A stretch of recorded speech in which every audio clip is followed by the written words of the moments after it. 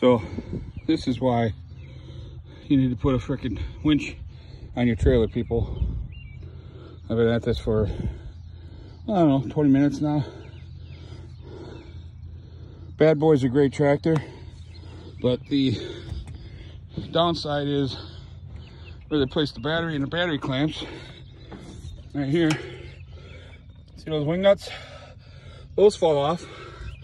And right below there, these little vents where the fans and the drive pulleys for the gear drives on this zero turn operate.